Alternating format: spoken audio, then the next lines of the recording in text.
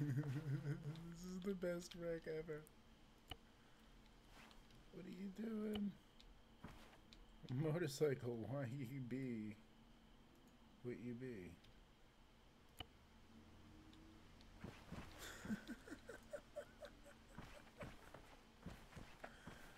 Thing is fucking wrecked.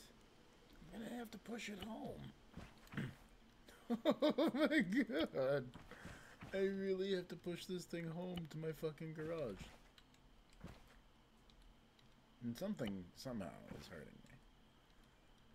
I think this thing is landing on my fucking toes or something. I, I, I can't believe I have to push this thing home like this.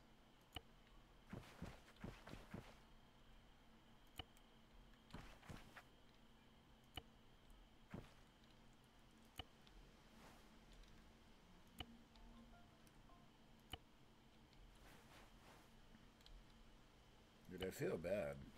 Because, like, this is a beautiful motorcycle. And it's really close to exploding.